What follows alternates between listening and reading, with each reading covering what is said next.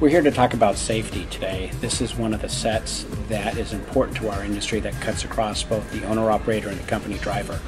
Safety, if you are going to have a large set, it is safety.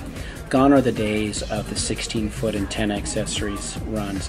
Gone are the gone are the days of the 16 foot lights and lens sets, the 16 foot chromes. There are niche marketers out there that actually do have the capability of having those large sets, but those are far and few between.